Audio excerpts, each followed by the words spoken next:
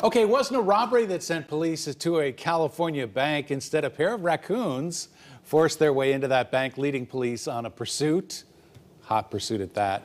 Look at him, he's just like, he's just daring you.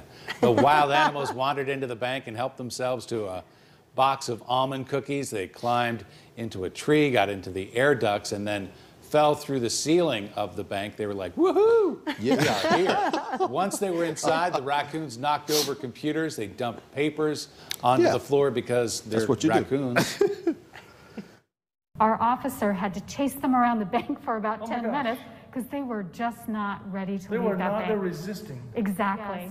Exactly. Mm-hmm. That officer was eventually able to get those pesky raccoons out of the bank.